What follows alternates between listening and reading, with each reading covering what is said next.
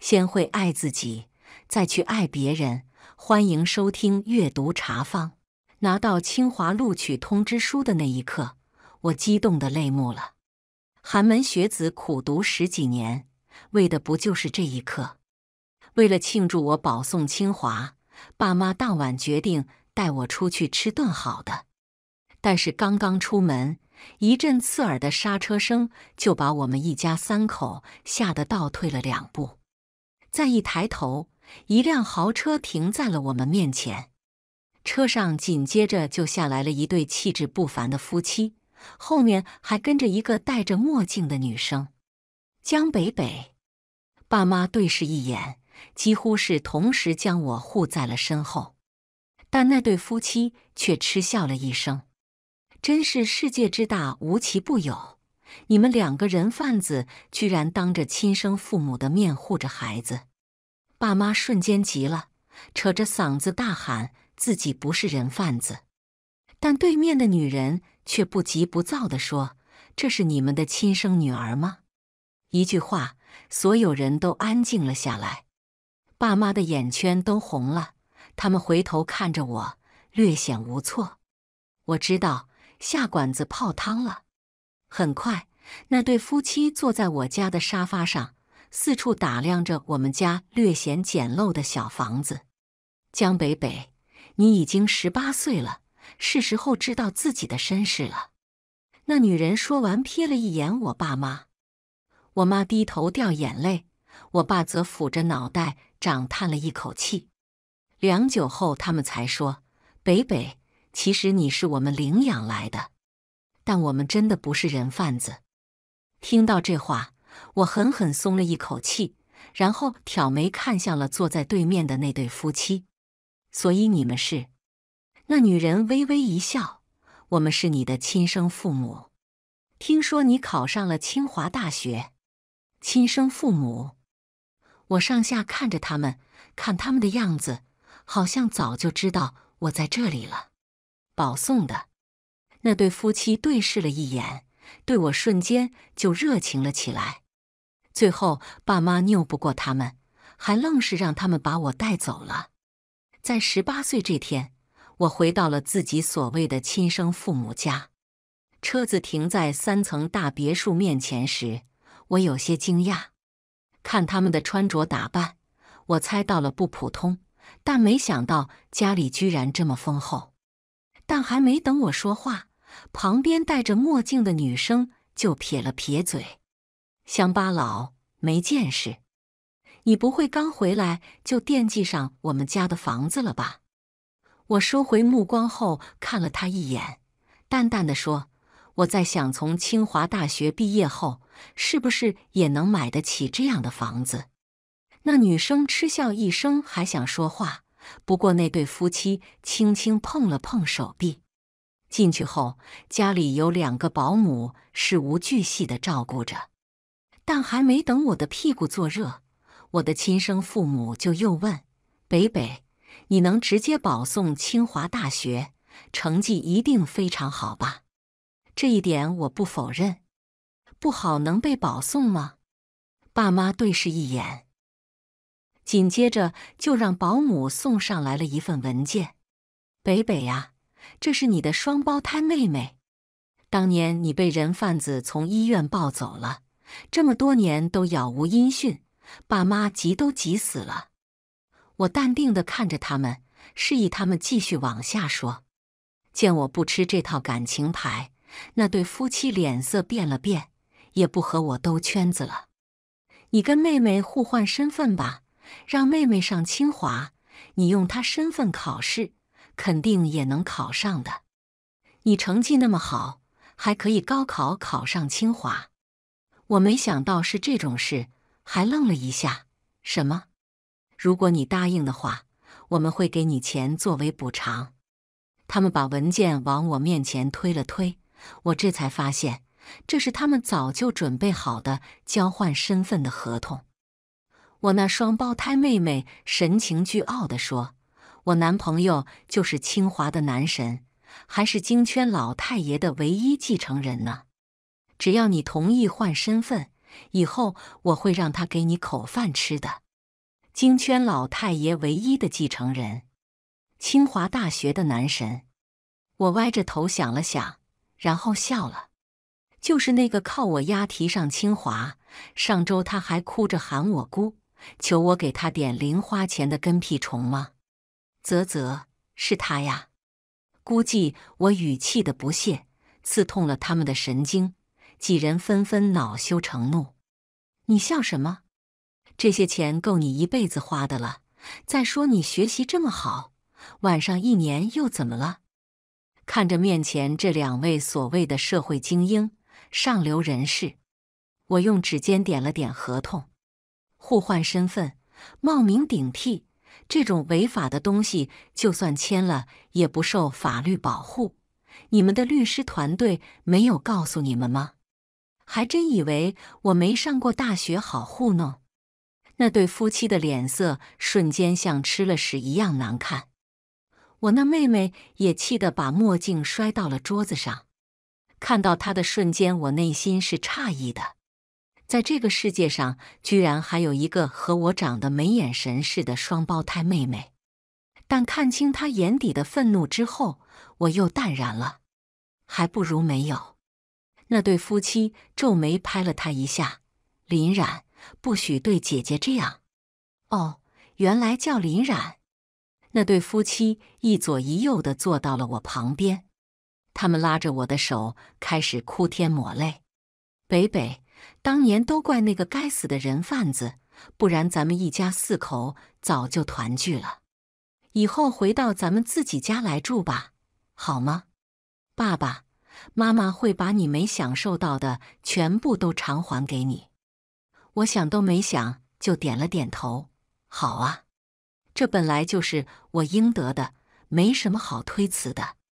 但我似乎答应的太快了，他们还有些没反应过来。于是我又好心的说了一遍：“我说好啊，我同意了，我愿意留下来。”旁边的林冉急得都快坐不住了。那对夫妻按住了林冉的手，然后又笑眯眯的看着我问：“那刚才爸爸妈妈跟你商量的事？”我同样微笑看着他们。爸爸妈妈那件事，在他们期待的目光下。我再一次斩钉截铁的拒绝，我不同意哦。家里有四个人，除了我之外的三个都笑不出来了。我给爸妈那边打电话说明了情况，得知我要在这边住一段时间后，我隔着电话都能感受到他们的沮丧。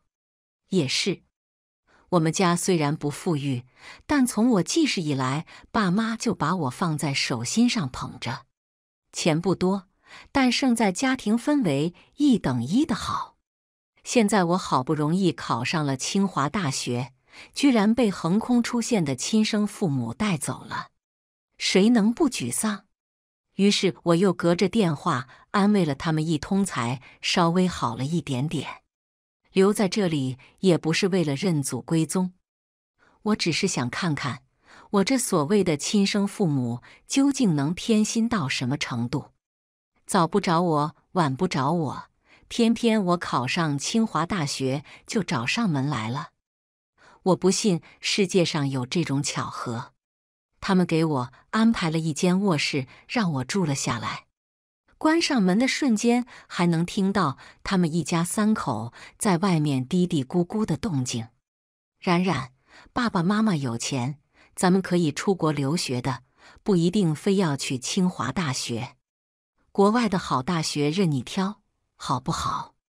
多少钱咱家都能拿得出来。林冉任性的声音从门外响起：“我不要。”沈阔就在清华大学读书，他都考上清华了，我要是不去，万一他被其他女人勾引走了怎么办？爸妈。那可是沈家唯一的继承人啊！沈阔，沈阔就是个花花公子，仗着家族基因好，脑子聪明，再加上我给他押题，他才误打误撞的考上了清华。他谈对象，我倒是不惊讶，但他女朋友居然是林冉。我不动声色的给沈阔发了条短信，你谈对象了。”那边秒回：“姑，你咋知道的？刚有点苗头，还没正式在一起呢。姑，求你了，你别告诉我爷爷行不行？我给你做牛做马，去学校给你排队打饭。啧啧，除了几个当事人，暂时没人知道。前段时间沈家老爷子看我顺眼，认我当干女儿了。林冉要是真的和沈阔在一起，还得跟着他的辈分，恭恭敬敬的叫我一声姑姑。要不然，我现在分手也行。我勾着唇角，忙给沈阔回信息：先这样吧，回头带出来给我看看。说实话。我开始无比期待这场抓马的事件了。我就说这个世界是一个巨大的草台班子吧。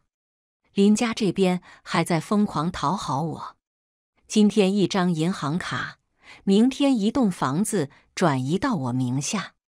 要不是知道他们的真实目的，我恐怕真的要被这些真金白银给砸晕了。拿到这些东西后。我高兴的屁颠儿的跑回了爸妈家。爸妈，我回来了。老两口从卧室里跑出来时，步子都是凌乱的。北北，我们还以为你不会再回来了。在那边怎么样？没有受委屈吧？哎，爸妈知道你跟着我们没出息，是我们没本事。北北，我直接用那张银行卡打断了爸妈的施法。谁说你们没本事了？现在有了。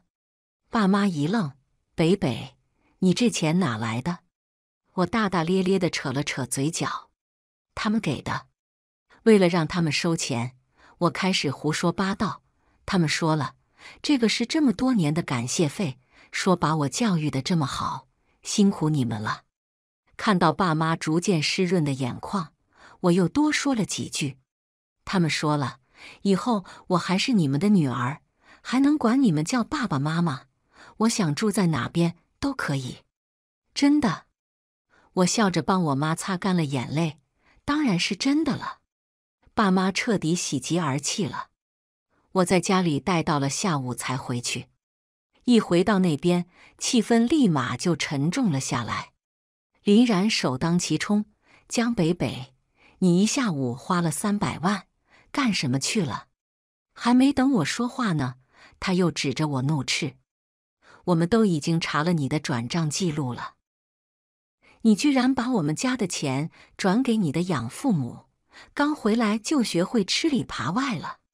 看来爸妈就不应该把你找回来，你这样的人活该一辈子受穷。”那对夫妻也神色复杂的看着我：“北北，你妹说的话糙理不糙？”这次你做的确实不对，我挑挑眉，爸妈不是说那些钱是弥补我之前过的苦日子的吗？我把你们当父母，可我花的每一分钱，你们全都还要查清楚去向。爸妈，我知道我从小不在你们身边长大，你们更疼妹妹，但是你们明显没把我当成一家人。与其这样，我还不如走呢。我毫不犹豫的转身就走，下一秒那对夫妻就一左一右的拉住了我。别，北北，我们不是那个意思。他们一边说着，还一边给林冉疯狂使眼色。是啊，我要是现在走了，他的清华梦更没戏了。林冉垂在身侧的双手攥成了拳头，良久后，他才憋出来了一句：“姐，我错了。”刚刚是我说话口无遮拦了，我不说话，你别和我一般见识。我还不说话，我真的知道错了。终于，林冉没忍住，破口大骂了起来：“江北北，你到底想怎么样？你一个穷逼，偷我家钱，你还有理了？”我叔弟红了眼睛，爸妈。我只是想用那些钱报答一下我的养父母而已。知恩图报不是最基本的吗？怎么到了妹妹嘴里就……我用的钱都是你们给我，让我自己支配的。就算手里没钱了，我也没有问你们要啊。爸妈对视一眼，扭头就用手机又给我转了钱。听着支付宝到账的声音，我美滋滋的咧开了嘴。谢谢爸妈，妹妹，我原谅你了。回到卧室后，我又把钱给爸妈转了过去。他们含辛茹苦的把我养大成人，我就喜欢用亲爹妈的钱报答他们。林冉生气，这才哪到哪呢？他气炸的日子还在后面呢。上次吃瘪后，林冉一直怀恨在心。爸妈多次试探，发现用钱砸我没用后，对我的态度也开始有所转变了。吃早饭时，所有人的盘子里都有培根、香肠、温泉蛋，还有一盏燕窝，只有我的是一碗白粥，连一根咸菜丝都没有。为什么我的和你们的都不一样？林然冷哼一声，眉眼中带着浓浓的挑衅意味。你这种乡下人，早餐吃的应该都是这个吧？怎么了？吃了两天好东西就忘本了？别以为自己坐上豪车、住上豪宅就是有钱人了。你身上的那股子穷酸劲是无论如何也改变不了的。我看了一眼默不作声的爸妈，林然撇着嘴翻了个白眼，然后又切了一块香肠丢到了我面前的桌子上。这么馋，吃吧。看爸妈的态度是不管了，我气笑了。林然也同样笑着看我，怎么样？我没说话，只是默默的抬手把白粥扣到了林冉的头上。白粥兜头而下，米粒一颗一颗的挂在林冉的脸上。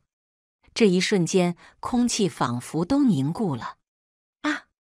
林冉尖叫着站了起来，而我则趁着他们没反应过来，直接跑回了卧室里。那对夫妻肯定会站在林冉那边的，和他们正面硬碰硬，我讨不到便宜。果然，我前脚锁上卧室的门。林冉的咒骂声和拍门声紧接着就响了起来。“你给我滚出来！敢做不敢当，算什么本事？有本事你给我出来呀！”卧室门被踹得直晃，爸妈愤怒的声音也随之而来：“江北北，你这次真的太过分了！自从你回到这个家，谁不是一直忍让着你？你竟然这么对你妹妹！”万一这粥是烫的，你妹妹就毁容了。赶紧把门给我打开，陈姐，把卧室的钥匙给我拿过来。想揍我？趁他们打电话的功夫，我给沈阔发了条短信。爸不是说要办一场认亲宴吗？告诉他我同意了，正好借机见见你女朋友。你现在就给她打电话。短信发出去后，门也开了。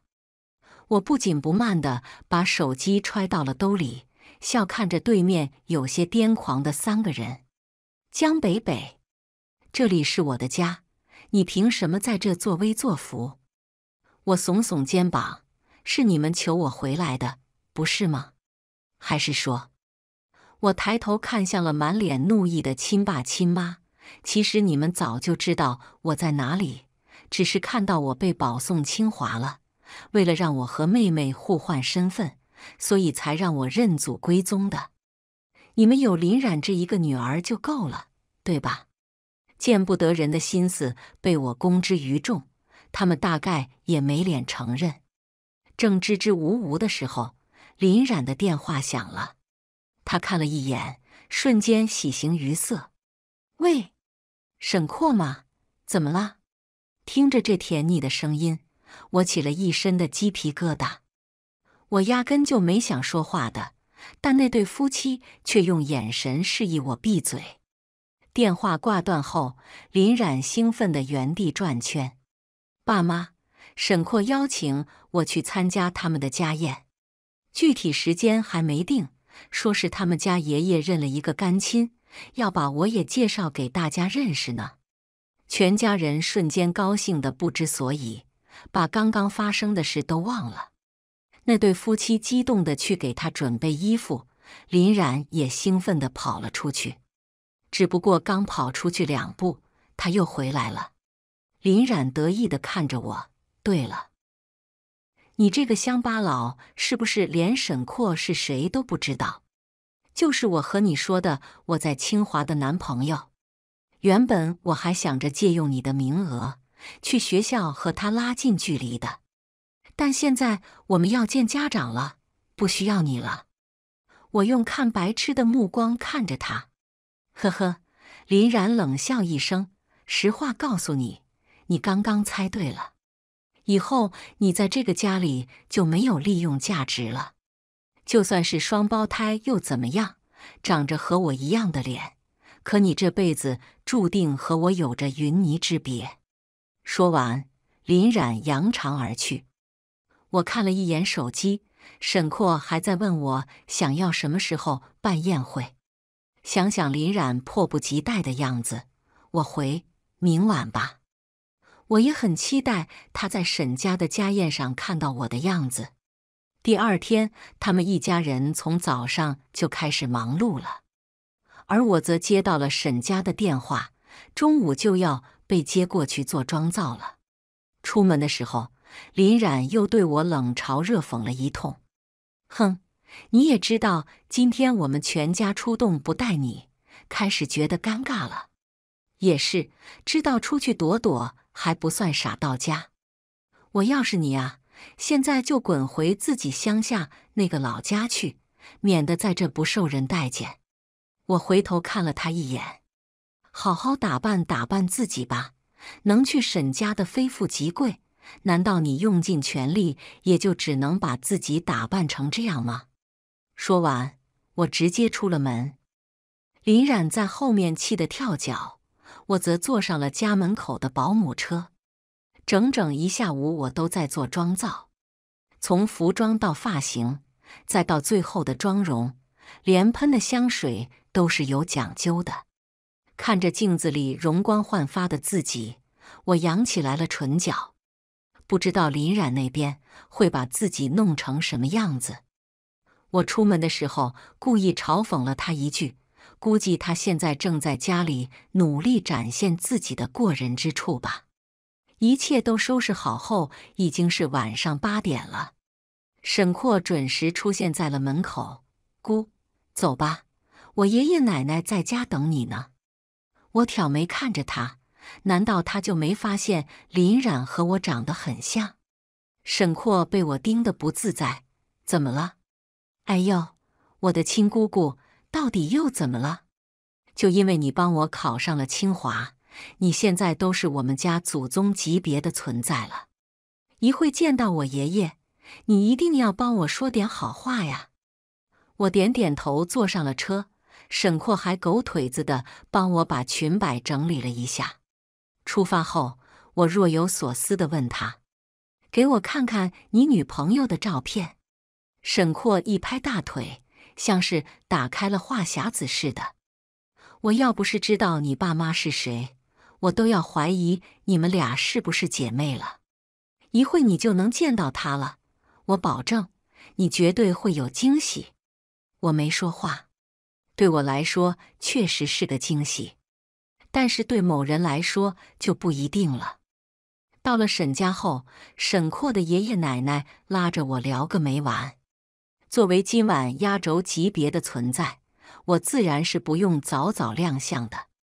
只是聊了没一会，沈阔的手机就开始不停的响。沈阔的爷爷眉头一皱，不愿意在这里待，就滚出去。爷爷，沈阔偷偷戳了戳我的胳膊，用口型和我比：“我女朋友来了。”见我没反应，他又双手合十给我作揖。你帮我打个圆场，是你让我把他叫过来的。你不知道他们一家子有多烦人，这件事你必须负责到底。我无语的摇摇手，干爸干妈就让他去吧，估计是同学来了。沈阔的爷爷奶奶这才放了话，让他走。沈括没个正形，我们家就只有你能镇得住他。以后你们在同一个学校上大学，一定要狠狠看着他呀！我笑着点头，爸妈放心。也是，他们对我放心，也知道我压得住沈括，才让我帮忙盯着他的。那林然想和沈括在一起，当然是要先过我这一关喽。沈括把林冉一家接进来后，我也偷偷溜了出去。趁着林冉一个人去洗手间的功夫，我跟了上去。他洗手时，一个抬头便看到了我，江北北。他诧异的转身，看到我身上的装扮后，脸都扭曲了。你怎么会在这？你也配穿这么好的衣服？在家里蛮横惯了。他说完，就要上来扯我的礼服。我面带微笑站着没动，只是嘴上警告他。你想被赶出去，差点就落在我身上的手硬生生的停顿在了半空中。你为了挤进上流社会，还真是费尽了心机呀！为了做这身装扮，没少花钱吧？放心，等回去之后，我就让爸妈停了你的银行卡。亏你还被保送了清华大学呢！原来学霸也这么虚荣啊！我告诉你，等我和沈括结了婚。我让你在这个地方混不下去，我笑了。你有什么好笑的？以沈家的能力，碾死你还不容易。看着他咬牙切齿的样子，我好心提醒。我笑的是，你不会真以为沈括会娶你吧？说完，我踩着高跟鞋转身离去。林然咬着牙，压着声音在后面怒吼：“江北北！”你给我滚回来，把话说清楚，还用说吗？一会他就知道了。宴会正式开始后，沈括的爷爷在台上讲了许久，大概的意思就是沈嘉欣认下的干女儿非常受宠，在这个家里的地位也非同凡响。我在后面候场，还能看到林冉像没骨头似的靠在沈括的身上。沈括多少知道场合，好几次让林冉坐好，可林冉就是不听。我看得直恶心，正想翻白眼的时候，沈括爷爷那边忽然冲我招了招手。重新做好表情管理后，我迎着所有人的掌声走到了沈括的爷爷奶奶旁边。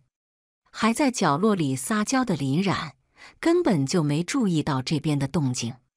于是我接过话筒，大大方方的自我介绍了一下：“大家好，我是江北北。”话音落，林冉那伸过去碰沈括的手瞬间顿住了，他僵硬的身子一寸一寸的看了过来，四目相对间，林冉整个人都愣在了原地，而我则笑眯眯的冲他摆了摆手指。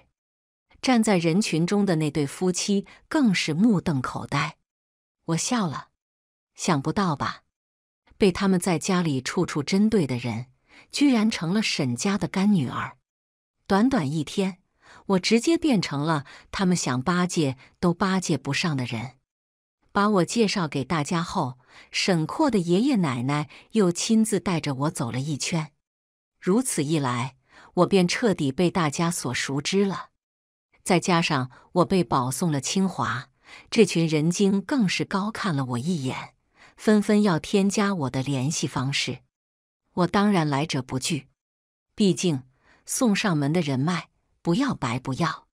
当然了，林家这种只能算是上流社会尾巴根的人家，沈老爷子都不屑于结交。他们一家三口战战兢兢地端着酒杯等了半天。直到最后，沈老爷子累了，都没看他们一眼。沈老爷子退场后，林家的人就迫不及待地围了上来。所有人对我的态度都发生了翻天覆地的变化，尤其是那对夫妻。北北，这么大的事情怎么瞒着爸爸妈妈呀？哎呦，真是我的乖女儿，爸爸妈妈就知道。我们的女儿怎么可能这么平凡呢？我淡漠的把手从他们的手中抽了出来，顺便还调整了一下手上那颗闪亮的大钻石。那对夫妻讪讪的对视了一眼，竟然又厚着脸皮凑了上来。北北，沈老爷子的卧室在哪里呀？你看，你妹妹不是和沈括在一起了吗？今天说好的双方家长见面，你带我们去见见呗。林冉站在旁边，死死的咬着牙。啧啧，到底还是从小就被保护的很好，脸皮薄，不好意思开口求我。不过我可是很乐意成人之美的。我招招手，沈括就屁颠屁颠的从另一处跑了过来。哎，姑，你们认识啊？怎么样，是不是非常惊喜？我用看傻子的眼神看了他一眼，然后无语的开口：“听说你是带他们来见家长的，怎么还不去见？人家都迫不及待了。”林冉的双手放在胸前，眼睛里面充满了期待，但沈阔却嗤笑一声，指了指他们三个：“姑，你开什么玩笑呢？这不是已经见了吗？”此话一出，林冉也彻底也站不住了。他拉上了沈阔的手臂：“哥哥，你别开玩笑了，是你说咱们今天双方家长见面的呀，我都把我爸妈带来了。”林冉说话的声音说大不大，但说小也不小。沈阔最近好不容易表现的好一点，讨到了沈老爷子的欢心。怎么会在这个节骨眼上让自己掉链子？偶尔在私底下调情，没人看见，怎么都好说。但现在，可处处都是老爷子的耳目啊！果然，沈阔直接皱眉，和林冉拉开了距离，然后站到了我身后。谁跟你开玩笑了？你不是见到我们家长辈了吗？我姑，这不是在这站着呢。林冉神情一滞，他好像都快要裂开了。哥哥，我以为……沈阔不耐烦的甩手打断了他后面的话：“你以为什么？你该不会是觉得我要带你见我爷爷奶奶吧？我那所谓的亲生父母站在后面，一句话都不敢讲，甚至还要偷偷的拉他们宝贝女儿的胳膊。算了算了，肯定是你误会了。”姑姑也是他的家人啊，咱们这不是见到了吗？说完，他们又疯狂给我使眼色，让我说好话。沈阔，姑姑，你看他们两个是不是还挺合适的？我咬着舌头，才忍住了没有笑出声。听完他的话，我佯装认真的上下打量了他们两个一眼，然后开口，就是最致命的问题。沈阔考上了清华，你呢？林冉的脸颊瞬间就红了。也是，他还想假冒我的身份上清华呢，他哪好意思说自己的真实成绩呀？但是旁边的沈阔没了耐心，我姑问你话呢，说呀。最后，林冉用蚊子大小的声音挤出来了几个字，发挥的不是很好，但也在北京读书。不是很好是多少？这边的声音已经引来了不少人的注意，在多方压力的逼迫下，林冉不得不脸颊通红地说：“三百多分。”这下不用我说，其他听到的人都啧啧了两声。那对夫妻看我的眼神像是淬了毒，我没说话，只是默默地看向了沈阔。沈阔几乎是毫不犹豫地站到了我身边，他讪讪地说：“哎呀，姑，他就是我一个普通朋友而已。”一句“普通朋友”，林冉的眼睛里立马含了泪水，他转头哭着跑了出去。那对夫妻想骂我，却也无可奈何。我悠悠地看向了沈阔：“你不去追？”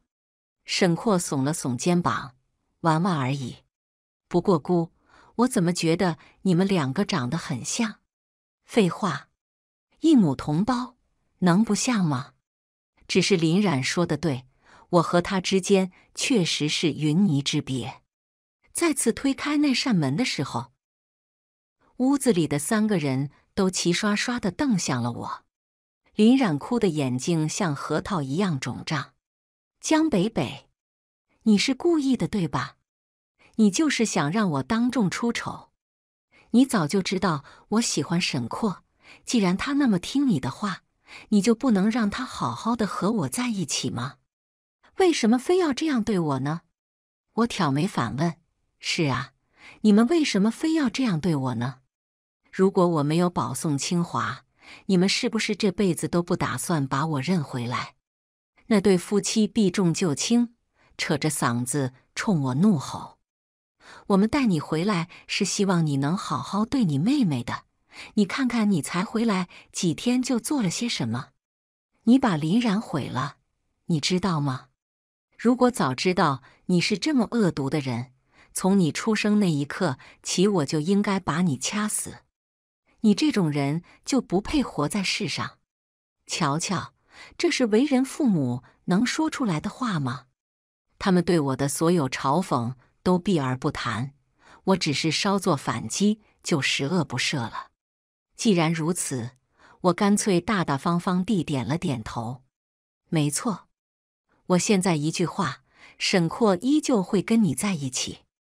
林冉，你跪下来跟我道歉，我就给沈阔打电话，怎么样？客厅内陷入了一片寂静当中。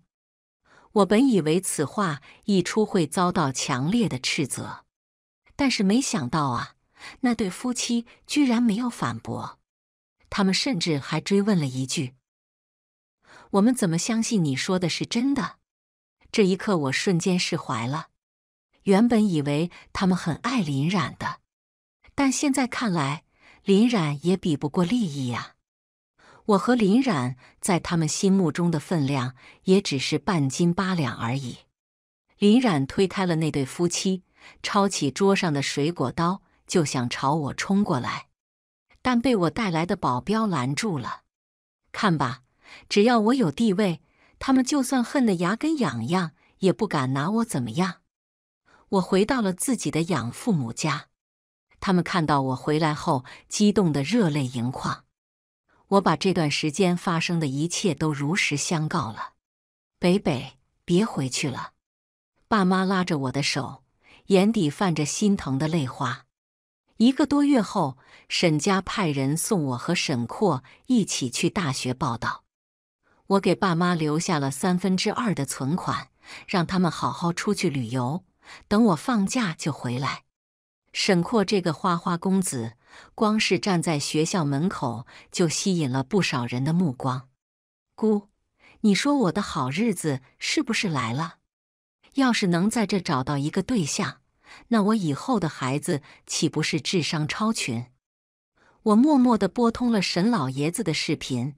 想让他好好听听自己孙子在学校门口说出来的虎狼之词，结果视频刚刚接通，我就看到自己的身后有一人鬼鬼祟祟的凑了过来。看清他手里的尖刀后，我瞬间瞪大了眼睛闪躲。江北北，你不让我上学，你也别想迈进这学校一步。是林冉。他的疯狂举动造成了一片混乱，我堪堪躲过了他的攻击，他则被保安按在了地上。林然咬着牙，死死地瞪着我：“你就是不想让我好过？”我和沈阔对视一眼，转手就报了警。这是你的情债吧？这算不算是替你挡灾了？沈阔愣愣的点头，头一次见到这么疯的女人。我冲他摊开手，精神损失费，姑，我爷给我的生活费还没有你三分之一多。做笔录的功夫，林冉的爸妈也风风火火的跑来了。他们一看到我就破口大骂，那话难听到警察叔叔都拍桌子了。在学校门口袭击人的是林冉，你们就是这样教育孩子的是吗？拘留。从警察局出来后，沈阔拍着胸脯说：“姑，虽然我不能给你钱，但是你放心，这口气我一定帮你出了。”说完，他就给沈老爷子打了个电话：“爷，能不能把林家收购了？给我姑就行。”好小子，这次我终于正儿八经的踏进了清华的校门。我在学校里认真上课，积极参赛，每天既要忙着自己的课业，又要忙着监督沈括不能在学校里乱搞，忙得很。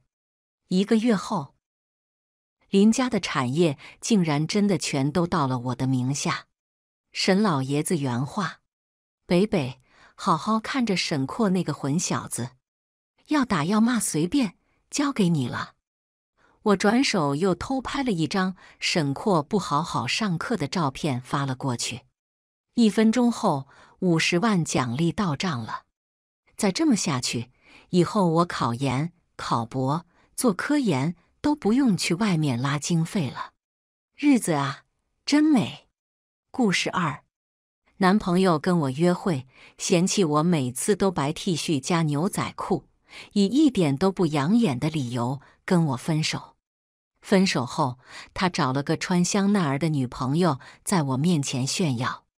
哦，香奈儿啊，品牌方前几天刚送来一季度的新装，放在我五百平复式别墅的衣柜里。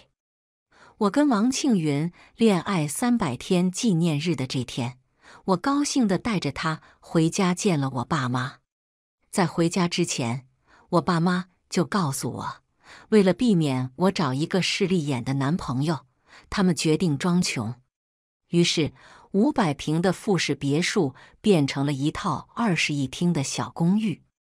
我的高定礼服、包包、香奈儿、古驰都只能暂时性的被关起来，连带着的还有我的宝贝豪车们。我信心满满。觉得王庆云肯定不会在意这种浮于表面的物质性东西，毕竟我跟他在一起的时候，我就是没有任何身份背景的一个普通人。可我万万没想到，他一进门脸色就变得不太好看。我热情地将他领进家门，他淡淡的开口说了一句：“叔叔阿姨好。”然后将手里带来的一些礼盒都放在了客厅一旁的地上。我看了一眼那些礼盒，总共加起来也不会超过五百元，就连高档拿得出档次的保健品都没有，全是一些小饼干、小蛋糕之类的，看起来就像是打发叫花子的。我倒是不在意这些，但是第一次上门，总要有些诚意呀。我抿了抿唇，有些不太开心。这是他第一次来我家，从礼品上我就能看出来他的不在意、不用心。可他无视我的眼神，在放下礼盒后，自顾自地坐在了我家二手沙发上，低着头在那里玩着手机。坐下去之前，他还有些嫌弃地用口袋里的湿巾纸擦了擦沙发上的灰尘。我妈看了看他，没说什么，只是脸上的表情也有些不太好看。先吃饭吧，他应了一声，然后站起来，走在了餐桌前。餐桌上摆满了二十道菜，有我妈特地托人从国外空运过来的野生鲍鱼、大龙虾，还有一些海鲜。我看了眼我妈。这一桌的饭钱都能抵得上这套房子的首付了吧？好家伙，我妈还真是住可以装穷，但是一点也不肯亏待自己的胃。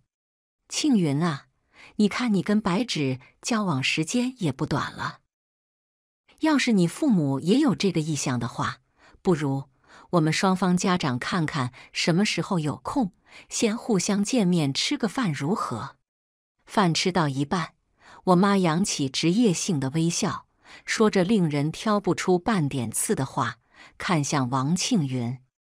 他夹着鲍鱼的筷子一顿，然后将餐桌上最大的那块鲍鱼夹到自己的碗里，又抬头用余光瞥了瞥我们家标准的小公寓二室一厅。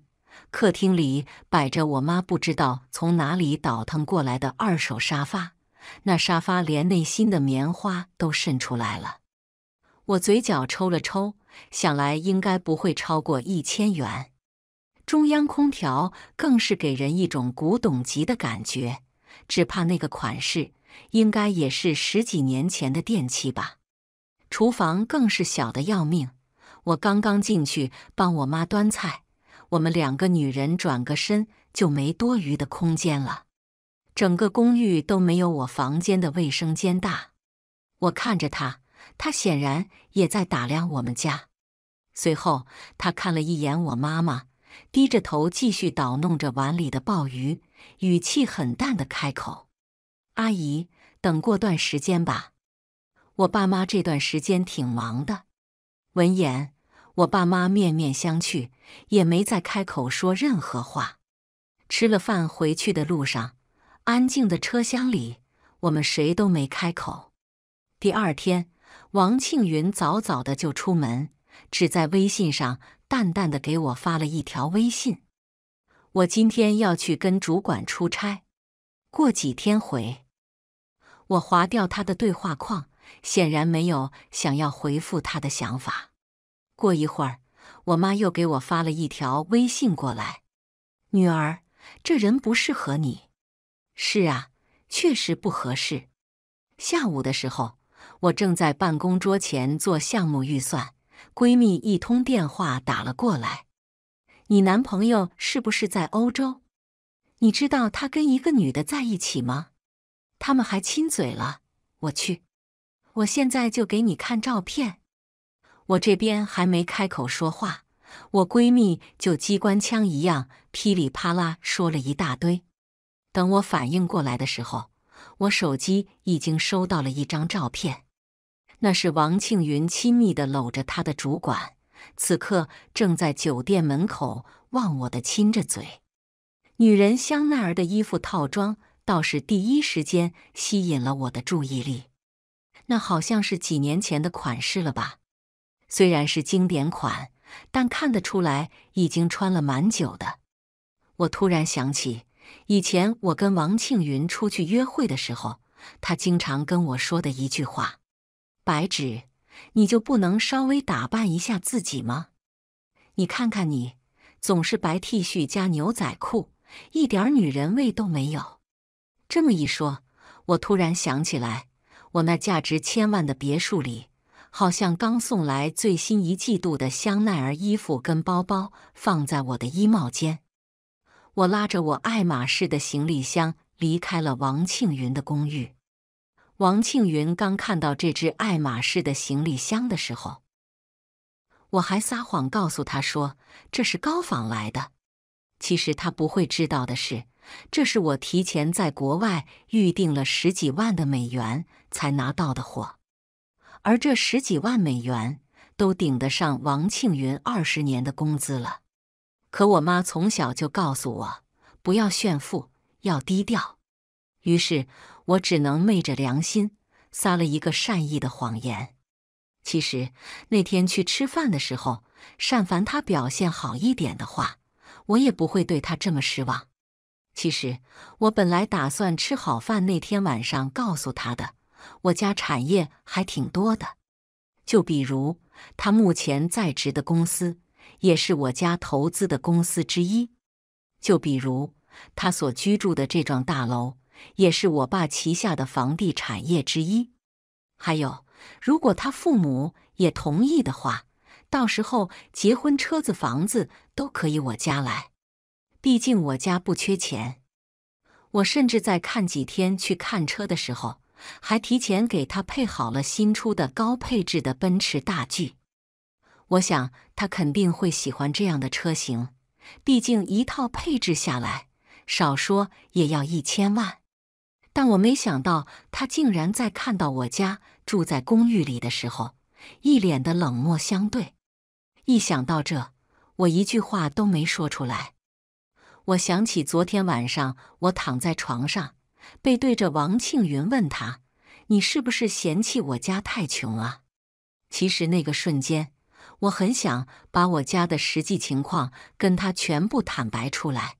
毕竟我们相处了将近一年。我对他还是有感情在的，而且我也不想骗他。可是王庆云只淡淡的说了一句：“不早了，睡吧。”就没有再开口说什么，只是语气里的冷漠跟疏离是毫不加掩饰的。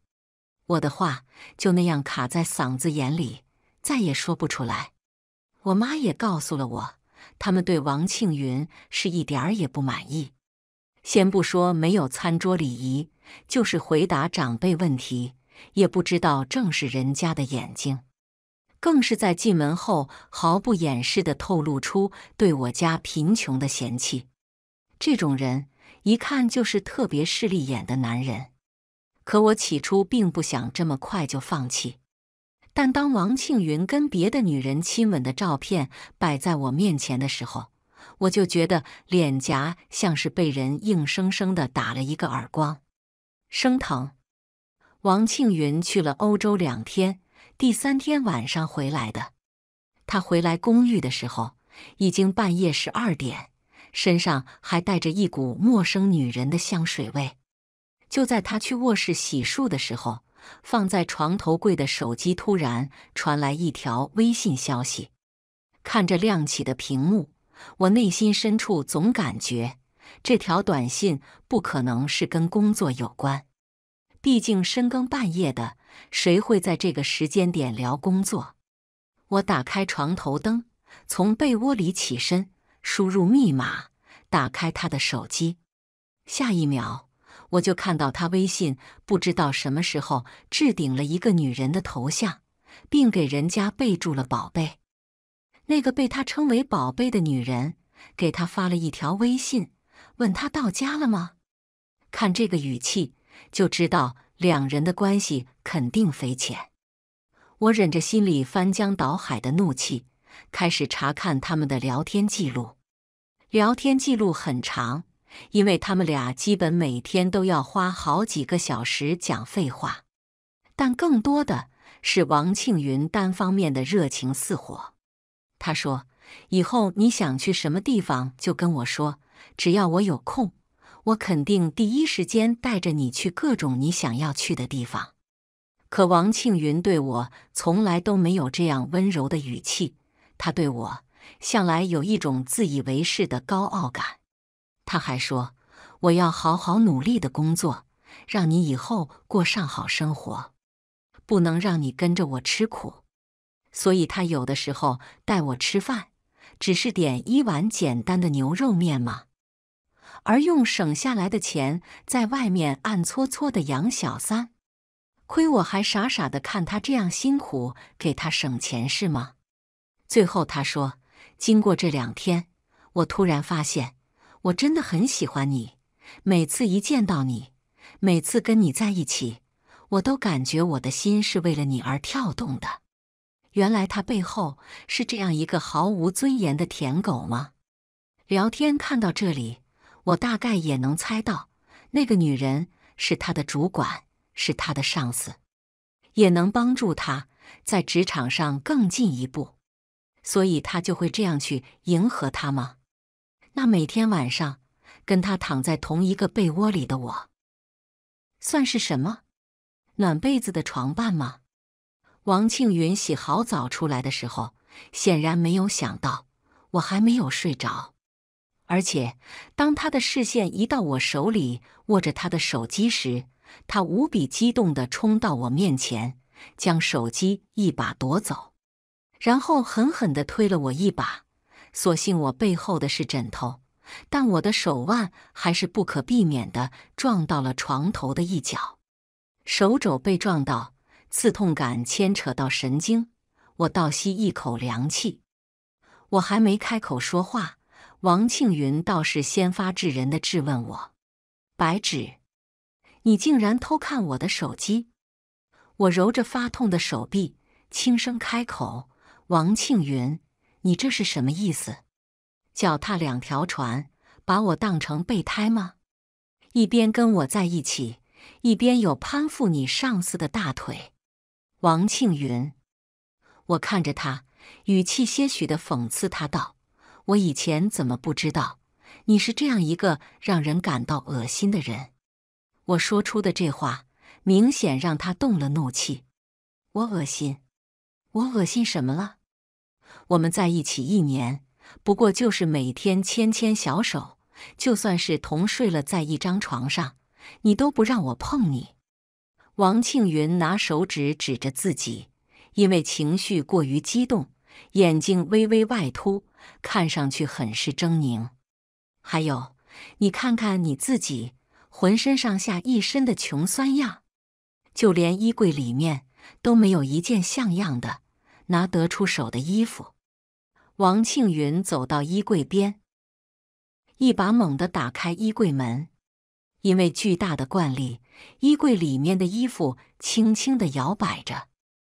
我看到洗得有些发白的牛仔裤，以及单调乏味的 T 恤，但其实王庆云不知道，那些衣服都不是他所认为的杂牌，相反，就是一件 T 恤可能都抵得上他一个月的生活费了。你看看，你每天穿的不是白 T 恤加牛仔裤，就是单调的衬衫加西装裤，就连我们一起出去约会、逛街、吃东西，你都是这样的搭配，一点女人味都没有。有的时候，我真的都不想跟你出门。王庆云说完，还用颇为嫌弃的眼神看了眼那些单调的衣服，只是此刻的他不知道。这些衣服只是我另外的一种保护色。你说什么？原来在他眼里，我就是这样一个无法带出门的土妞。因为大街上，但凡是个成年的女人，都穿的比你有档次、有品位。王庆云没再遮掩，将心里的话一股脑的都说了出来。还有，你看看你们家那个经济条件，就连沙发。空调用的都是二手货，还想跟我父母一起吃饭？我实话告诉你吧，白纸，我不会跟你结婚的，最起码不会跟一个比我还穷的女人结婚。他的语气那样肯定，让我久久都无法回神。所以，你想要结婚的对象是你的主管上司吗？就因为他有钱、有权利、有地位？王庆云用余光看了我一眼，没说话，但是那个眼神已经让我明白了他的意思。我低头冷笑了一下，干脆也不再跟他交流，走到一旁，将我的行李箱打开，开始收拾起行李，准备离开。王庆云怀胸看着我，开口嘲讽道：“白纸，你要是这次从这里搬出去了，有本事就别再回来。”我视他为空气，将我的东西一股脑的放进行李箱里，转身离开。就他五十平方的破公寓，搞得自己有多稀罕一样。身后的门被我狠狠的关上，连带着垄断了王庆云还在喋喋不休骂我的声音。我倒要看看你一个穷酸样的人离开了我还能去哪儿？白纸。你别让我看到你跪在地祈求我收留你的模样！我冷哼一声，就怕到时候跪下来的那个人是你。我拿出手机给我家司机打了电话，很快司机就开着宾利来到我面前，去我郊外的那套别墅。我本来想去自家酒店，但后来想了一下，感觉还是别墅住着舒服多了。毕竟价值千万的别墅空着也是空着，多浪费啊！更重要的是，这幢别墅是王庆云望尘莫及且想也不敢想的存在。他当然不会知道我的真实身份，和他简直就是云泥之别。第二天出门，我刚到公司，就看到王庆云给我发了一份文件，打开来一看。我差点没笑出声。这个世界上怎么会有这样厚脸无耻的人？他竟然连夜把我们这三百天来约会的经费都整理成一份文件发给我，然后让我给他钱。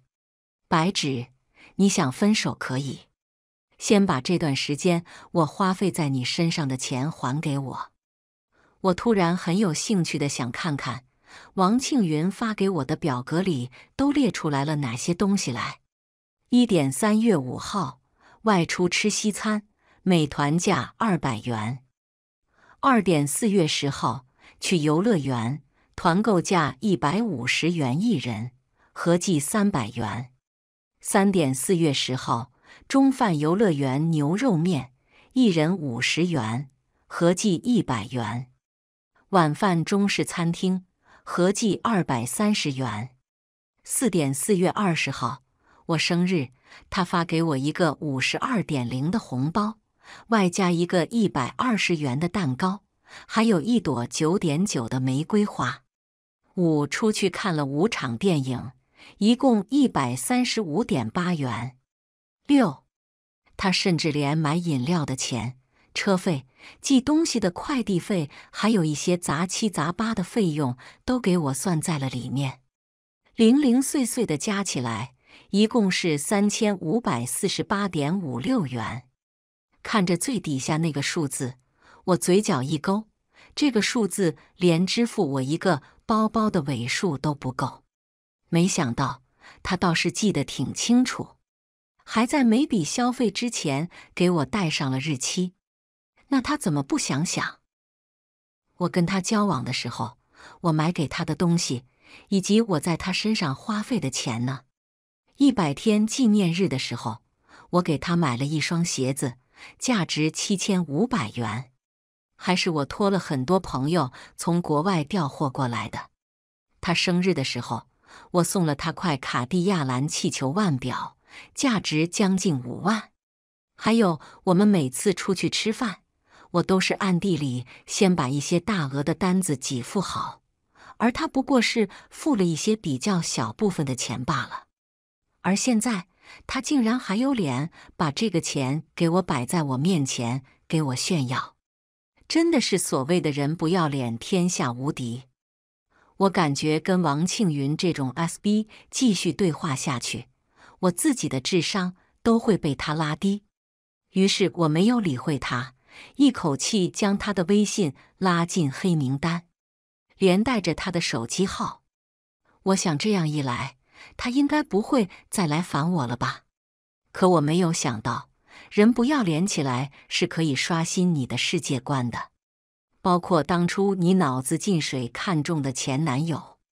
隔了一天没理王庆云，他不知道通过了什么方式，竟然直接在我们公司的内网里挂出我是个谈恋爱花别人钱的爱慕虚荣的女人，还附带了一份文件。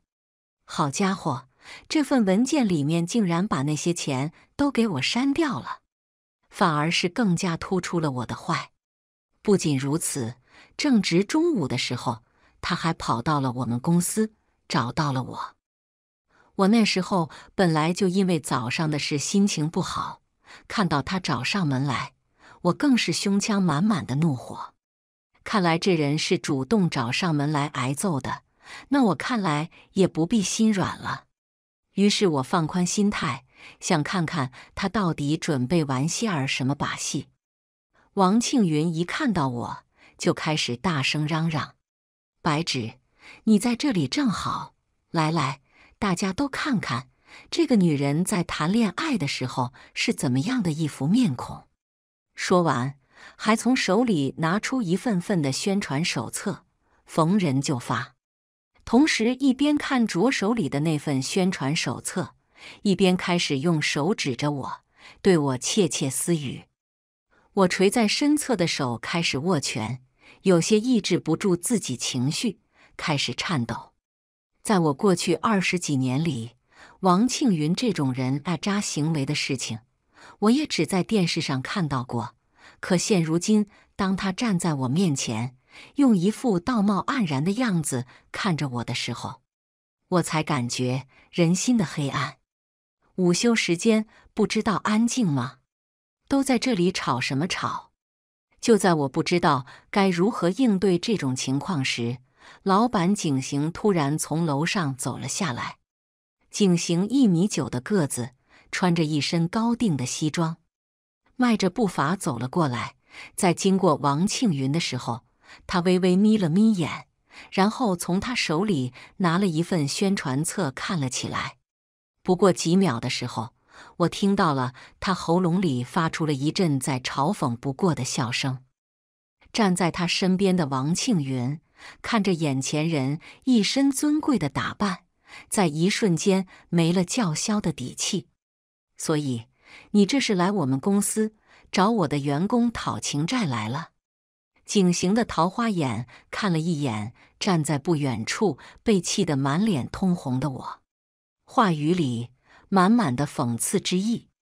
对，你是老板吧？那你可要给我讨个公道。白纸在跟我恋爱期间肆意的花费我的钱，现在跟我分手了，二话不说就把我拉黑。你说，既然分手了？男女之间的账是不是该算算清楚？这种拉黑人逃避责任的做法过于下耻，这种女人留在公司也是个祸害，应该开除了才好。我气得恨不得冲上去狠狠地扇她两巴掌。怎么会有这样胡搅蛮缠、蛮不讲理的男人？我一直以为这个世界上只有女人才会蛮不讲理，却没有想到。男人不讲道理起来，比女人更不要脸。而且他怎么不想想，自己此刻手腕上的那块卡地亚手表，还是我买给他的？景行瞥了他一眼，冷笑，别开头，不再看他。白纸花了你多少钱？王庆云一听到钱这个敏感词，立马两眼发光。五千。声音大的简直就怕别人是聋子听不到一样。我冷笑一声，虽然我猜到王庆云会给我乱报价，但是看他一边贪钱，一边又不敢把价格往高了报的样子，我真是越来越看不起他了。但凡他敢说了几万，我都不会这么嫌弃他。果然，他这话一出口。办公室里的大家伙瞬间就像听到一个笑话一样，纷纷开始捧腹大笑起来。一个穿着 Jimmy Choo 高跟鞋的女生颇为不屑地看着他：“五千多你都说得出口吗？现在谁出去吃顿饭不用上千？就连我朋友过个生日，我送个礼物都要小两千。你没这个金刚钻，就别揽这个瓷器活。”自己没资本谈恋爱，还在那边要女生的钱，要不要脸的？还真的是见过不要脸的，但没见过这么不要脸的。王庆云被一番话气到脸色瞬间惨白，正准备反驳，又听到身边一个男人开口：“行了，早点回家洗洗睡吧。作为个男人，还这么斤斤计较。”谈个恋爱花个五千多，你就这么放不下了？那你以后要是娶老婆花了五十几万，你岂不是要失眠睡不着觉了？身旁的人听到这话，瞬间笑场。而王庆云就是这场子里的小丑，就是早点回去吧，少给我们男性同胞丢脸。你不想谈恋爱了，我们还想结婚呢。是啊。真是天下之大，无奇不有。就是怎么有脸说得出来的？大家有纷纷嘲笑起他来。王庆云的脸都气得跟霓虹灯一样，在红绿色中不断的闪变着。看他终于没话可说了，我拿出早就准备好的文件，一巴掌甩在他脸上。想要我先把钱给你是吧？行啊。那你也把我花在你身上的钱转给我。我二话不说，往王庆云的卡里打了三千五百四十八点五六元。很快，他的手机传来银行的到账短信。我将转账信息截图摆在他面前，然后静静的等他给我钱。王庆云先是一愣，我猜他不会想到我会留有这手。确实，以他的智商，很难跟我想到一起去。但很快，他就厚脸皮的开口：“谁说你的这些东西是买给我的？谁知道你会不会买给别人的？然后嫁祸在我头上。看看这人多蠢！嫁祸这词是这么用的吗？你不知道这个世界上有种东西叫做快递吗？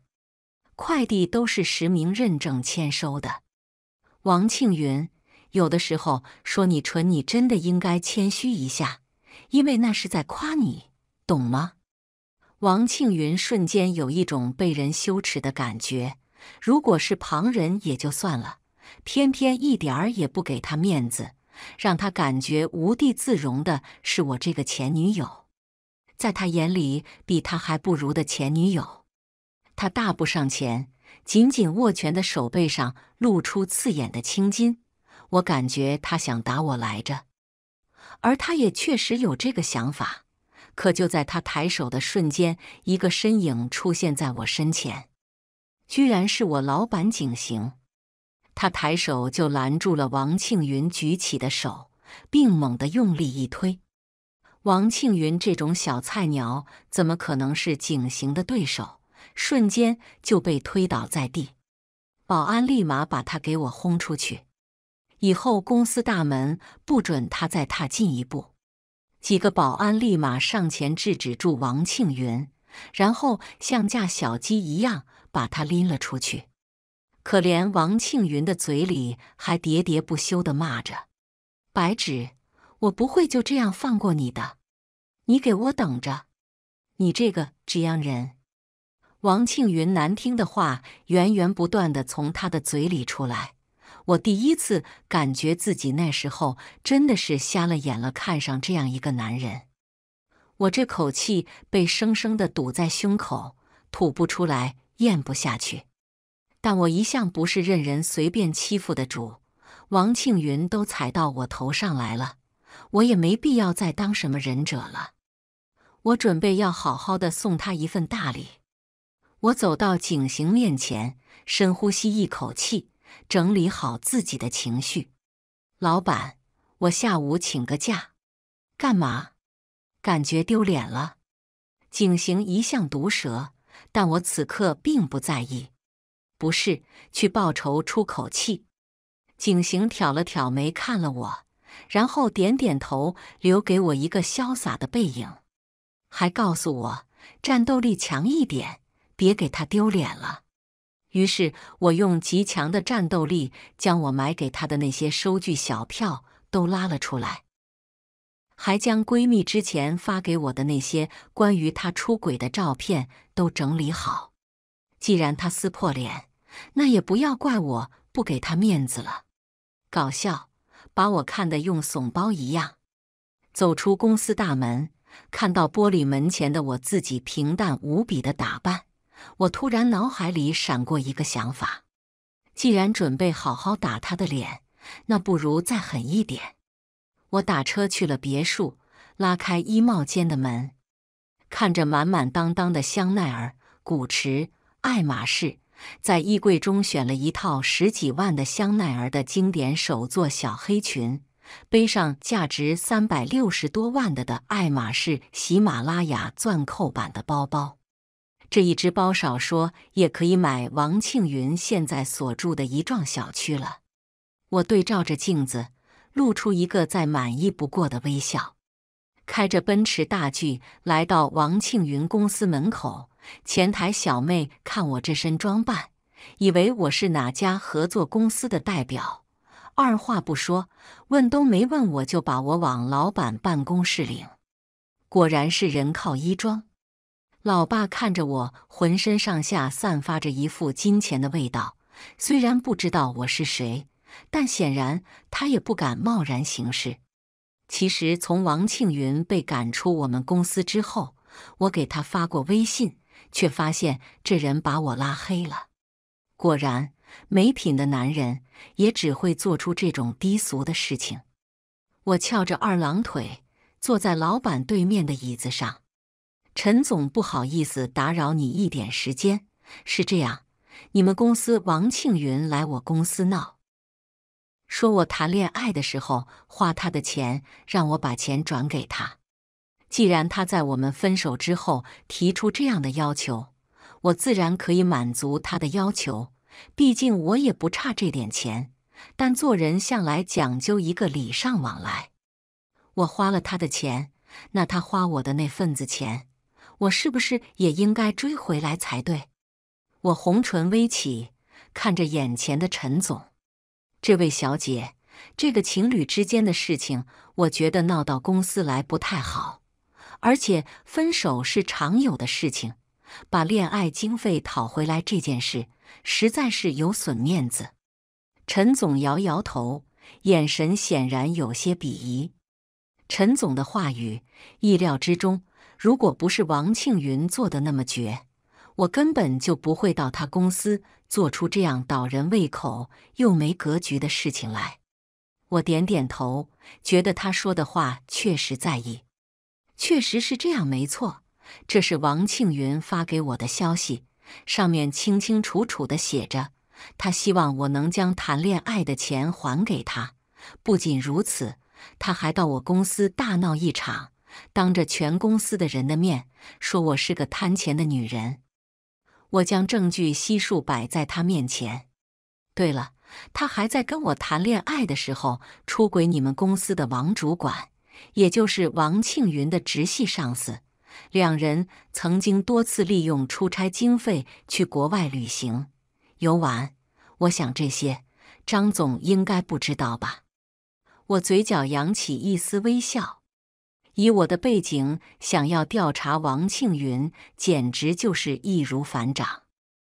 我看着百叶窗外人影走动的样子，就知道他们此刻肯定都趴在窗外听着八卦呢。毕竟公司这种地方。是最不缺八卦的地方，但是那个张总根本就连眼睛都没抬，他眯着眼，用手敲打着桌子，一副事不关己的模样。对了，家父是国和企业董事长白博，之前跟贵公司应该有过合作。此话一出，张总的脸瞬间切换成一副义愤填膺的模样，他按下内线的电话。叫秘书第一时间把王主管跟王庆云叫上来。白小姐放心，我一定还给你一个公道。真没想到王庆云竟然是这样一个脚踏两条船、伤风败俗的男人，还因为这区区五千元就诋毁你的名声。你放心，陈叔叔在这里，没人敢欺负你。陈总拍了拍自己的胸脯。大有一副我为你出头的模样。我低头摆弄了一下自己的指甲，轻声笑了笑。王庆云很快就来了张总办公室，他的面前还有一个女人。不出意料，这个女人应该就是王主管。看她穿的那身香奈儿，我昂头自信地看着她，因为我一眼就能看出来，她的那套衣服是二手货。这不就是典型的打肿脸充胖子吗？王庆云在跟张总打过招呼之后，终于注意到了坐在一边沙发上、浑身上下都散发着金钱味的我。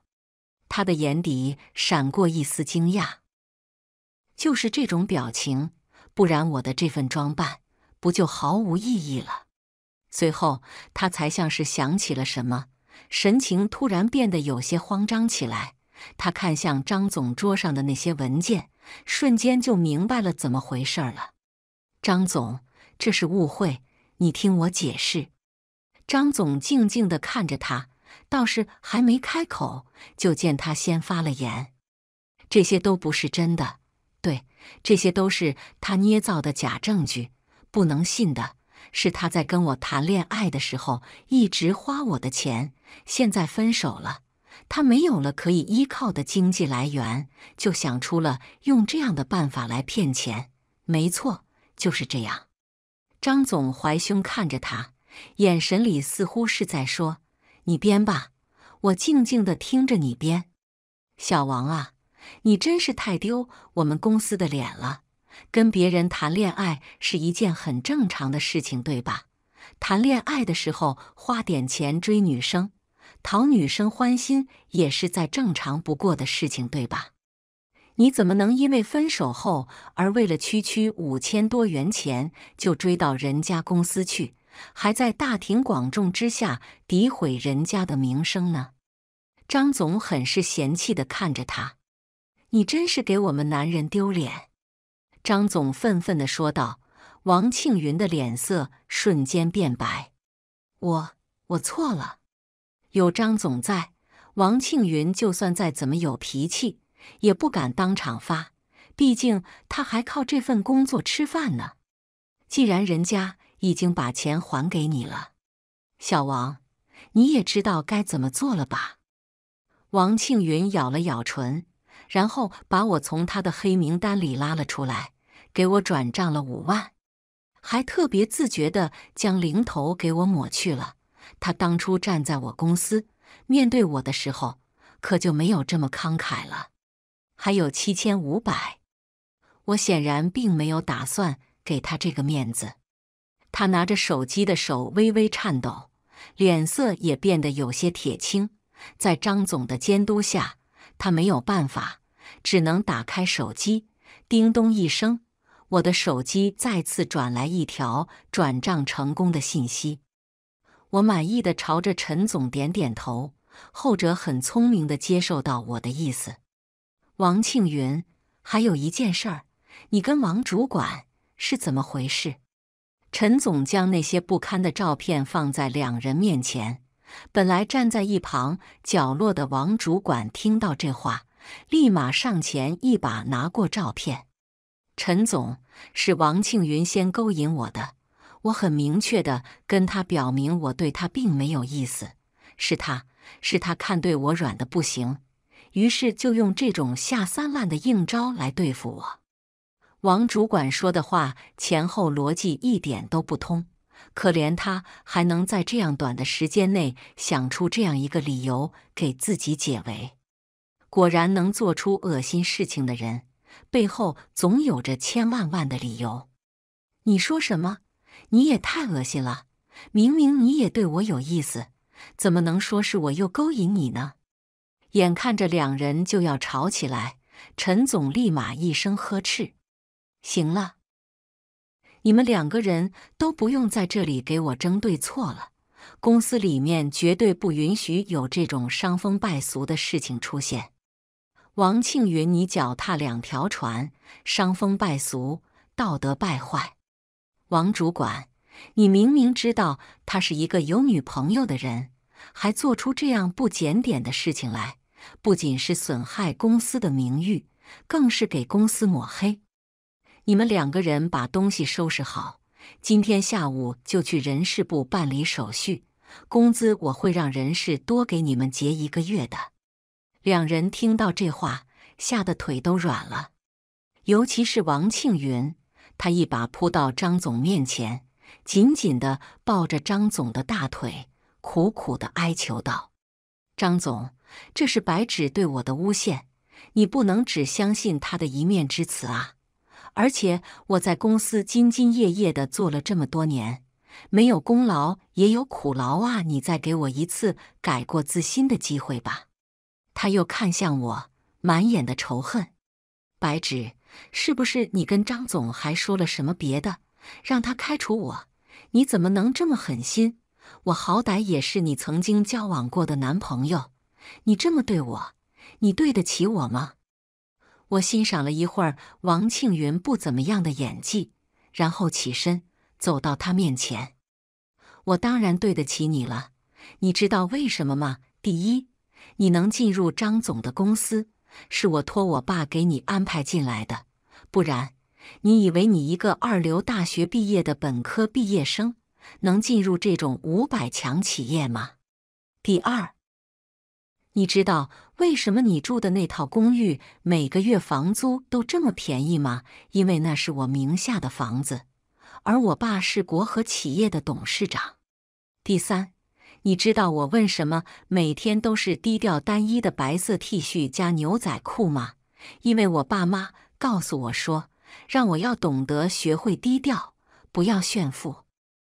而你以前经常羡慕别人的女朋友总是打扮的美美的样子，其实你不知道的是，我的衣柜里满满当当的都是各类的大牌衣服，只是我懒得去穿罢了。像你经常挂在嘴边的香奈儿的衣服，前几天香奈儿专柜专门给我送来一季度的新衣服，此刻还放在我五百平复式别墅的衣帽间呢，连吊牌都还没来得及撕下来。哦，对了，还有一件事情你应该不知道，就之前你特别特别嫌弃的那些 T 恤，其实那些衣服都是专门定制来的。一件衣服可以抵上你半年的生活费了，所以我也不是你眼中的什么穷光蛋，而是国和企业的董事长千金。还有，我有一套价值千万的复式别墅来着。我看着他傻傻的呆坐在地上的样子，微笑着退了场。办公室的同事们看着我离开，在我的背后开始窃窃私语道：“天哪！”你看到他的那个包了吗？那可是爱马仕最贵的之一，一个就要几百万呢。那个人简直就是把一幢楼都拿在手里，还那样的云淡风轻的样子。没错，既然是我给他的东西，那本来就不属于他的，所以我拿回来再正常不过。王庆云当夜就联系我了，小芷，我错了。我发现自己那时候真的是鬼迷心窍了，才会对你做出这样的事情来。电话里，我一听到这个声音，就想起王庆云如同舔狗般的模样出现在我眼前。我其实一直爱的都是你，我们还能重新开始吗？我冷笑一声，二话不说，直接拉黑他的所有联系方式，重新开始。这种不要脸的话都说得出口，在王庆云干了这一系列的不要脸的事情后，我真的没想到他竟然还有脸再回来重新找我，爱我？他爱的是我吗？我觉得不是，他爱的是钱。我妈说的没错，其实有的时候，有些人一试便知真假。就像王庆云，他这样势利的一个人，自然知道。攀附上我这棵大树，后续的生活肯定是无比舒坦。也幸亏我爸妈的试金石，让我清楚明白了，看清楚了这个人的真面目。我以为我跟王庆云的事情就这样结束了。这座城市这么大，我们总不会再遇到。可我没想到的是，半个月后我会再次遇到王庆云，恰值周末。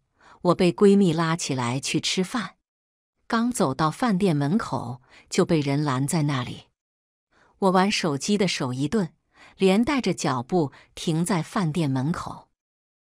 拦我的是饭店门口的服务员。不好意思，小姐，本店对顾客的穿着打扮有严格要求，你不符合规定，不能入内。我低头看了一眼自己的衣服。简单的白色 T 恤加牛仔裤，Gucci 的人字拖，乱糟糟的鸡窝头，还有一副黑框眼镜架在我原本高挺细小的鼻梁上，目的就是将我的素颜微微遮了一下。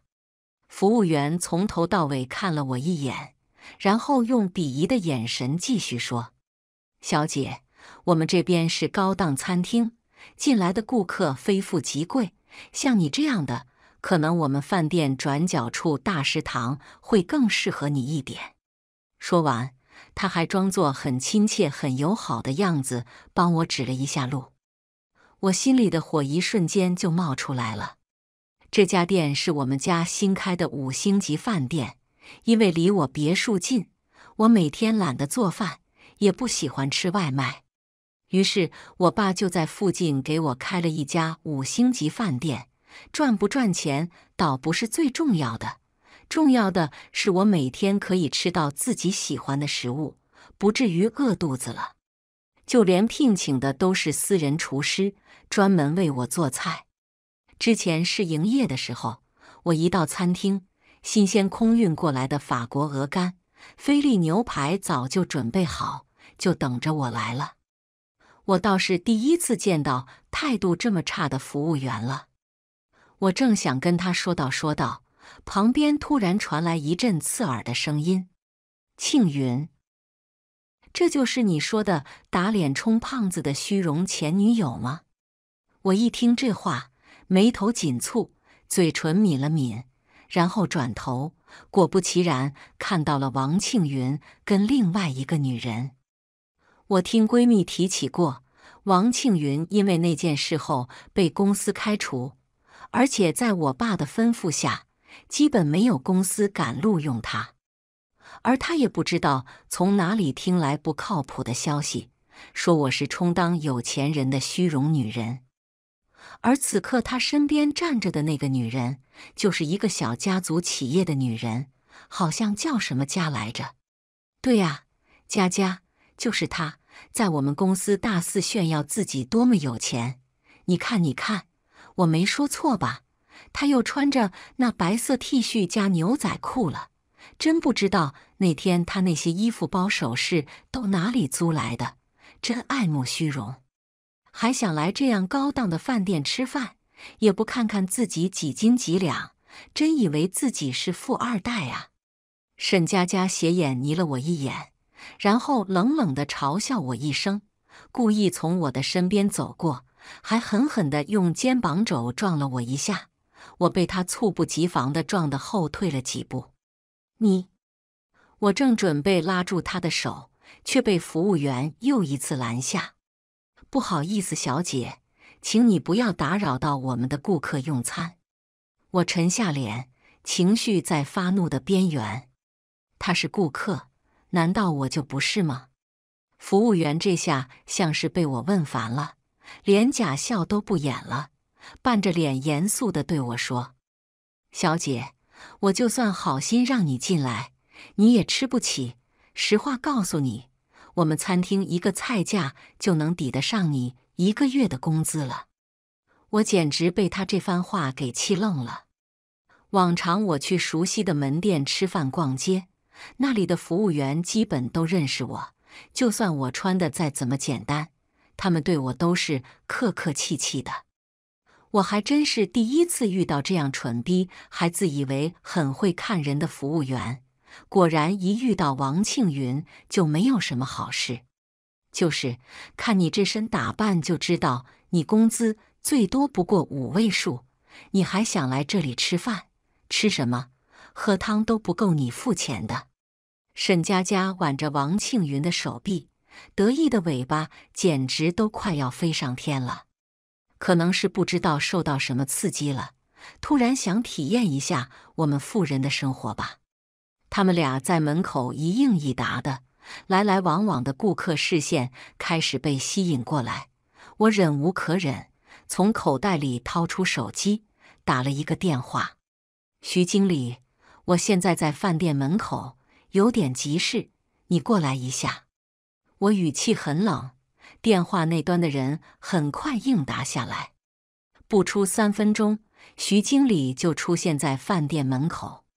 他气喘吁吁地跑到我面前，看着我站在门口，服务员还一脸正义地挡在我面前，不让我进去时，立马转身呵斥服务员：“这位小姐是餐厅大老板。”你为什么还不好好招待？傻站在那里干什么？当木头吗？此话一出，服务员自以为是的 get 到了经理话里的重点，于是立马从里面拿出了一瓶依云的矿泉水，递到沈佳佳面前。老板您请。经理一副恨铁不成钢的样子，在我面前弯腰，极其恭敬的亲自将我领进餐厅。我走到一半，然后在那三个人惊讶外带愕然的表情中，飘飘然的开口：“怎么不进来尝尝富人餐吗？”饭店私人沙发上，我慵懒的翻着菜单，反正现在也没什么食欲。这位服务员刚才说我进来也吃不起这里的菜，还说餐厅对顾客有着装要求。徐经理。我怎么不知道顾客还有着装要求这一说法呢？还有，你这个岗前培训做的不到位啊！徐经理一听这话，额头的汗水开始源源不断的冒出来。他赶紧给我鞠躬道歉：“不好意思，白小姐，他今天第一天上班，很多事情确实不懂，我替他向你道歉。”说完，徐经理立马拉了一把还在傻愣着的服务员，后者立马弯腰九十度：“对，对不，对不起，白小姐，我我有眼不识泰山，我不是故意的。”我合上菜单。怎么还结巴了呢？服务员摇摇头，那脸色被吓得惨白惨白的。对了，他们那桌应该还没点餐吧？要不我帮你们点吧，算是尽一下地主之道。我很友好的看着坐在我前面的沈佳佳跟王庆云，我知道他们此刻的注意力全在我身上。徐经理。就给他们点一桌我之前是营业的时候吃的菜吧。徐经理一听这话，睁大眼睛看着我。我自然知道，我说的那一桌菜，少说也要五十万。不是他不想让后厨做，只是他看着那两人就知道肯定付不起这个钱。可在接触到我坚定的眼神时，他没敢开口。只能点点头，然后屁颠屁颠的去后厨下单了。对了，等下你帮我们俩桌上菜吧。服务员点点头，可在我说出后半句后，他的表情就那样僵在脸上。一碗一碗的端过来，沈佳佳的那桌加上我的这桌，少说也有五十个菜，而从厨房端到这里，一个来回少说也有一千米。五十个菜就是五万米，刚好给他锻炼身体了。我勾唇温柔地对他笑了一下。两个小时后，服务员哆嗦着双腿，满头大汗地将最后一个菜端在我面前。白小姐，您看还满意吗？我从鼻孔发出一个“嗯”的声音来。对了，徐经理，这桌菜刷卡吧。就当是支持一下你这个月的业绩了。我从牛仔裤口袋里拿出一张黑卡，放在桌上。徐经理一脸开心的应了下来。就这一桌的菜，少说也要三十多万。这个月的奖金，他肯定不少拿了。而站在身旁的服务员一听到这话，像是再也支撑不住一般，直直的往地上倒去。白小姐。主厨从国外给你带了新鲜的鱼子酱过来，您要不要带回去尝味道？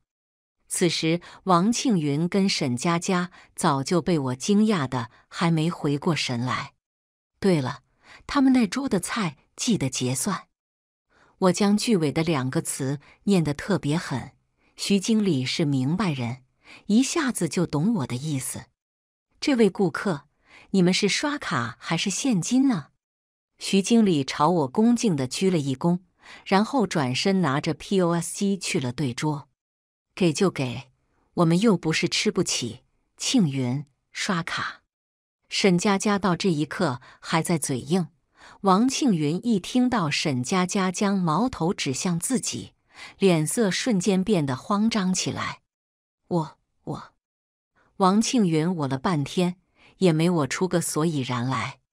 一共是三十五万八千四百元。徐经理敬业的微笑着，面对他们说出价格。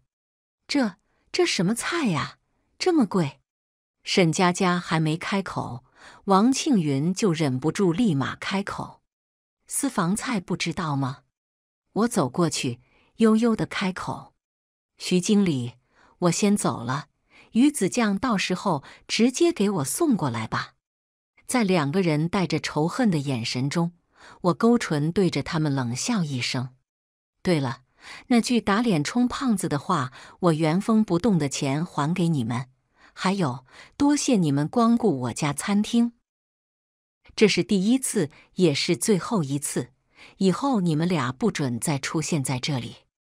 三十五万八千四百元，如果你们付不出来的话。我不介意让你们尝尝什么叫做吃霸王餐的后果。我说完，转身准备离开。